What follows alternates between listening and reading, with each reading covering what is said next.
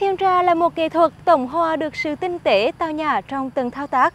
Người ta thường quan niệm rằng thiên trà chính là đang đào sâu văn hóa để tìm hiểu sự tỉnh tại và sự bình yên trong tâm hồn. Một không gian yên tĩnh, lặng động, những kỹ thuật pha chế đẹp mắt tỉ mỉ sẽ mang đến cho bạn một tinh thần thư thái, thoải mái, an nhiên. Hãy cùng cầm năng trẻ khám phá và tìm hiểu về nghệ thuật thiên trà trong phóng sự ngắn sau đây.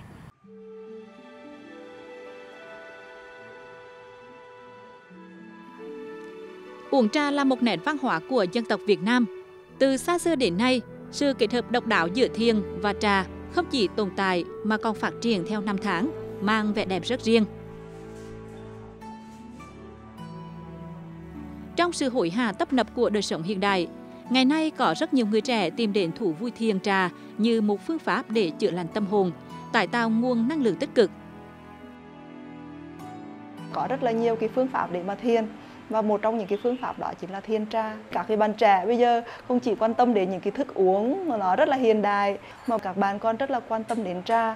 Thì khi mà các bạn thưởng trà thì nó không chỉ đơn thuần là một cái cái thức uống để mà giải tỏa một cái cơn khát, mà nó còn là một cái thức uống để mà giúp cho mình có thể nuôi dưỡng được cái chân thiền mỹ. Và đó là một cái tín hiệu rất là đáng mừng cho cái nền trà Việt.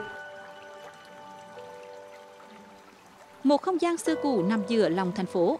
Hiên trà Đồ Nhị Mai là một điểm đến thú vị dành cho các bạn trẻ yêu thích khám phá văn hóa thiền trà.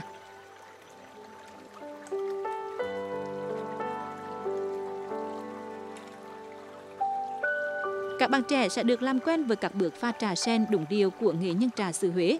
Từ việc chuẩn bị trà cụ, bóc trà, cho đến khi cho trà vào ấm để hàm trà.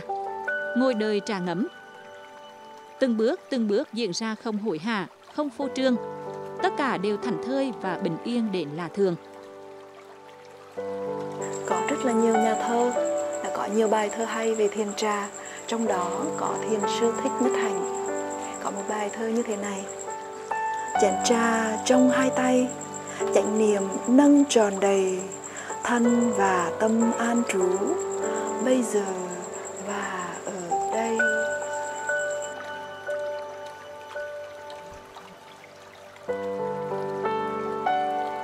nhâm nhi một chút để thưởng thức mùi hương của hoa sen trạng sự Huế, để rồi cảm nhận hầu vị ngọt sâu, lâu lâu vào trong cuộn họng. Nghệ thuật thưởng trà là một quá trình tuy đơn giản nhưng vô cùng công phu, đòi hỏi sự tinh tế về mặt giác quan của người thưởng trà.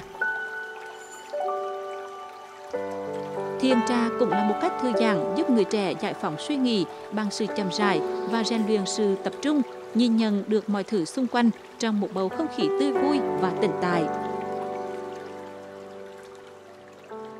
Thực sự đây là lần đầu tiên mình được thưởng thức trà trong một không gian ấm cúng như thế này. Mình cảm thấy là được sống chậm lại khi mà bản thân mình dường như bị cuốn vào cái vòng xoáy số bồ uh, của đời sống hiện đại.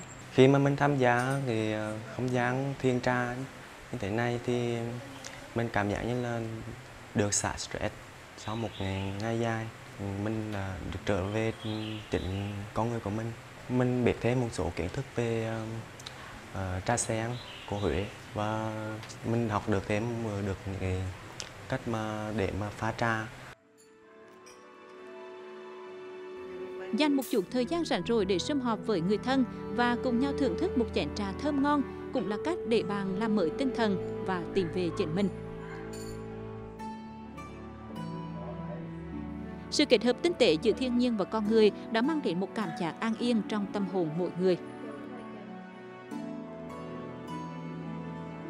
Mình là một người rất là bận rộn và cái giấy phục mà uống trà cùng với gia đình là giấy phục mà mình rất là thích tại vì đây chính là cái khoảnh khắc mà mình có thể trò chuyện tâm sự với là những người thân trong gia đình để mà có thể kết nối hang gắn với những người ờ, thân xung quanh của mình